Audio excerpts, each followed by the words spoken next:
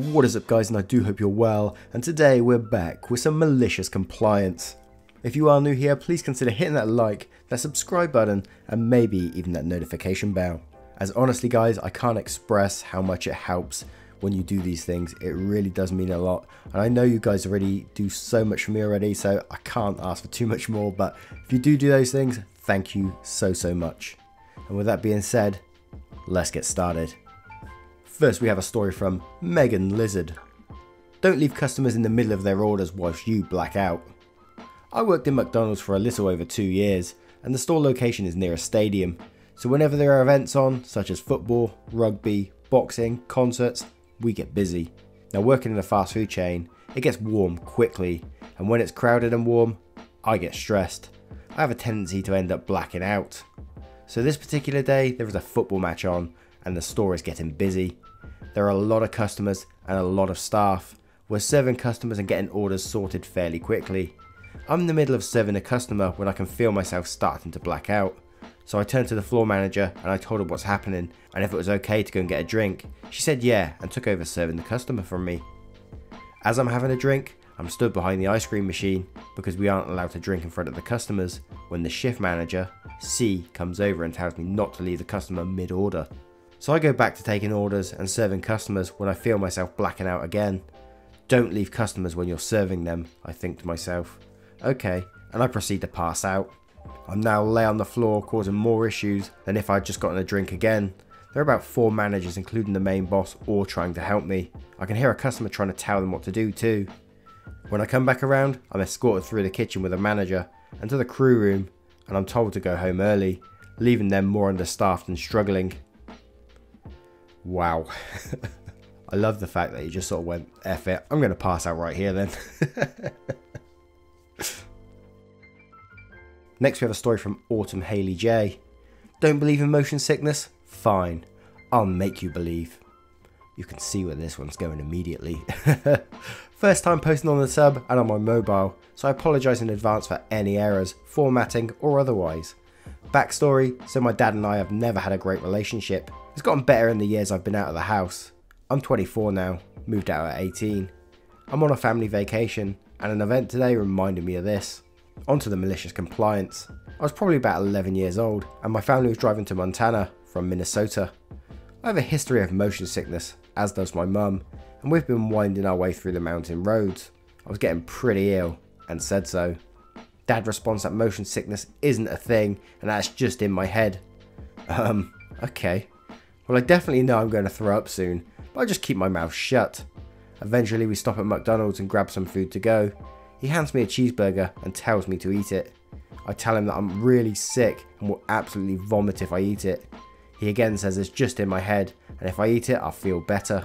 I know that this isn't true. As I mentioned above, I'm well acquainted with motion sickness. 11 year old me knows what will happen if I eat that damn burger. So what do I do? I take a big bite out of it and before I even finish chewing, I vomit all over the back of his seat. Guess who believes in motion sickness now? And there's nothing worse than a long, hot journey with a car smelling of puke. Grim. Next, we have a story from Pearl's Handmade. Keep everything where I put it, or how Dory caused a grown woman to lose it. On mobile, have mercy. Happened a few months ago, lots of background, but it's worth it. Background, I work as a child worker at my church. Overall, I absolutely love it. All the kids are awesome and super fun to play with. Unfortunately, my old supervisor had a family emergency in another state, so Amy came to take their role. After every use of the kids' room, we need to wipe down the toys and put everything away so everything is ready for the next use. Usually this would just involve putting all the toys on the shelves, picking up all the crumbs from snack time and washing blankets. Amy decided this was not enough. She reorganised the entire room, the to-do list to finish up tripled. Now it was, make sure the toys are on the shelf, Make sure all the books are alphabetized. Yes, really. Unplug all electrical devices, scrub the walls, sweep the carpet, vacuum the carpet, and about 12 other very specific but unimportant things. The most important rule, for this story anyway, was every single item must be put on the exact spot. All this made what was supposed to be a 15 minute endeavour into a 40 minute one. Needless to say, we did not particularly like her. I'm 200% sure Amy had eagle-eyed memorized where all the 50 plus pieces in the room was to the centimetre. Even after my co-workers and I did everything correct, if the rocking chair was too close to the wall, she would yell at us to move it literally 2 inches further up. Kid moved the toy kitchen while playing with it, Amy would act if the kid threw it against the wall to us. After a month of us not telepathically knowing exactly where to put everything in Amy's perfect world, Amy pulled me and three co-workers aside and pretty much moved every individual toy and furniture into a correct place for it. She gave us a list of how far apart everything was. The rocking chair is 5 inches away from the wall, the chairs are 8 inches apart from each other, etc. And at the end of her charade, Amy said, keep everything exactly as you found it, as in where I put it, and left us to deal with the kids. However, as she left, she brushed up against the shelf with the stuffed animals on it, and a lone stuffed Dory from Finding Nemo fell off and rolled into the centre of the room. She looked at it in the hallway and rolled her eyes. Make sure to listen to me for once.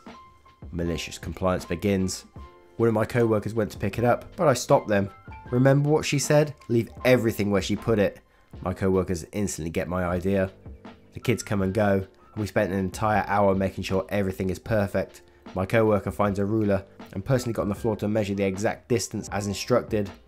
I wiped the same spot in the wall four times and organised the books so they were perfectly straight. In the middle of it all, Dory sat patiently. Amy comes to do a routine check. We stand behind her, triumphant in our thoroughness. Fellow Redditors, I sincerely wish that you were there to witness the anger of Amy that fine day. She screamed about how stupid and lazy we were, sneered at how foolish us ignorant Christians were, that we could forget to pick up a stupid toy on the trucking floor. She cried to our Saviour about how we were so sinful as to not to listen to our elders' instructions.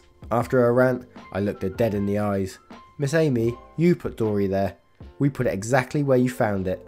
Amy realises what she has done. She told me quietly but stern to pick the darn thing up. I obey my elder. We are free to leave. I never saw Amy again. Luckily this event considered with my old supervisor returning from their trip. Amy got in trouble with the head pastor for yelling at us and foul language. Last I heard, she moved to a different church. Peace returned to our children's church that day. wow, like to actually measure things to the centimeter or the inch or whatever. That is just that's some sort of OCD, isn't it? Really, that's that's some sort of mental thing. Next, we have a story from Vamp Archer. You want me to burn all my time doing tasks I'm not supposed to instead of my work? Sure. Background I'm trying to get out of the store I'm working at. We don't really have stockers. Well, we do, but they get almost no hours, and they make the sales floor associates do all their work instead of pay people to actually do the work. So almost every truck day, they grab me to help. It's very unfair to me, as I'm almost guaranteed to get picked every single time, but if there's anyone else there, they won't ask them to do it. I've tried to resolve the issue, but they have made it clear they don't want to fix our problems and just want to use me as a crutch for their shortcomings, then be nasty to me about it, which is why I feel semi-justified being an asshole. I came in, and we had a truck. We had a new manager which we call Kate, who is very unpopular. She is very green and doesn't understand how things work. A lot of the tasks she asks us to do don't make any sense or has impossible expectations in terms of how long certain tasks take. Kate came to me and she told me that there are three carts full of merchandise on the floor. She wants me to set a new mods, strip the aisle bare, put all the new labels up, put everything in correct order, and work the new products out of the back. We're not supposed to set new mods on weekends because there is so much going on and we can't just stop halfway through, so we have always been told never to do them. I asked why we are doing this on the weekend and she told me just to do it anyway. I wasn't one to argue because she was polite about it and I had absolutely nothing to do anyways. It's actually kind of fun. It was like a mini vacation from my usual activities, but I knew there would be a shitstorm coming. Sure enough, they tell me I need to help work the truck because they're either too lazy or too incompetent to do it themselves, like every truck day. I deadpan told the supervisor to ask Kate because I can't just stop. I have to finish it before I do anything else, not to mention I had at least 15 huge boxes, trash everywhere and loads of overstock. They looked at the mountain of trash and boxes that Kate told them just to leave for me and they left me alone. Or stuff we're not allowed to do on the weekends for that very reason. Once I finished a good 3 hours later, Kate told us to work the back room. They just did that literally yesterday, but she insisted we need to do it again despite her knowing that. Again, I had nothing to do, and I didn't want to go to work pallets, so I just went along with it. I went to the back there and spent two hours with my co-worker pulling out stuff that we fully knew would not go out, push it back, chatting amongst ourselves, repeat. Then once it hit my lunchtime, I left. But once I came back, the night manager was fuming. He asked why I didn't help with the truck, because apparently it's that hard to pass a memo along. The supervisor was still there and could have told him, but she just didn't say anything. I just told him exactly what they told me to do and went on with my business. I wasn't getting in trouble for what I was told to do, especially by my direct boss, and I left a note behind detailing exactly what I was instructed to do if they give me shit tomorrow. Good, organised management is so hard to find.